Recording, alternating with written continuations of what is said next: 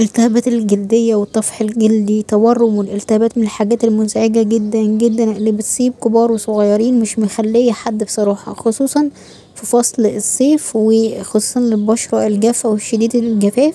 دي أكتر نوع بشرة معرض دايما للالتهابات والتورم. النهاردة جايبالكم كريم من الحاجات الكويسة جدا لعلاج اضطرابات الجلد والالتهابات الجلدية بتعالج الطفح الجلدي. بقا الناس اللي بتعاني من الحك فتتخلصوا منها تماما.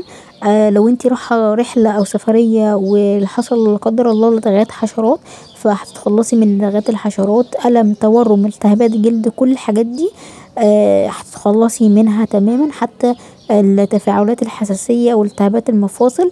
الكريم ده فيه كل حاجة إحنا عايزينها بيقلل الالتهابات بشكل كبير وبيقلل الإحساس بالحكة والإحمرار بفضل مكوناته.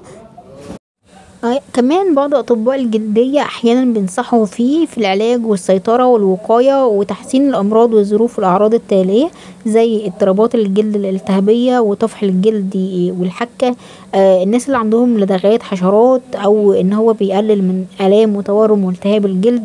الناس اللي عندهم حساسية أو التهاب في المفاصل أو عدوى أو التهابات جلدية أو التهابات عدوى بكتيرية اللي بتنتقل من الحيوانات للبشر وغيرها وغيرها. فعشان كدا الكريم ده مميز جدا باستعمالاته الكتير جدا جدا.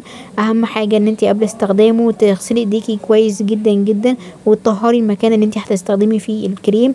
بيتحط فقط على المنطقة المصابة بلاش توزعيه على مساحات واسعة من الجلد.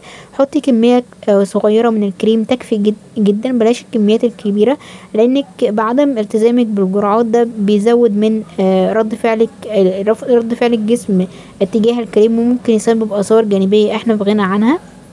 فحاولي تتبعي الارشادات الموجودة داخل الكريم. النشرة الداخلية اقريها كويس جدا قبل استعمال الكريم. وطبعا ده كريم طبي فمفضل ان انتي تستعمليه تحت إشراف الطبيب علشان تعرفي مدة العلاج وتعرفي الجرعة اللي تناسبك. وطبعا كل حالة مرضية بتختلف من حالة لأخرى.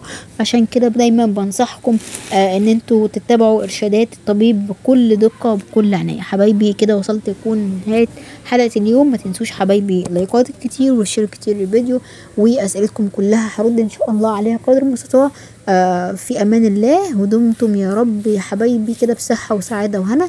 أشوفكم على خير وصحة وسعادة.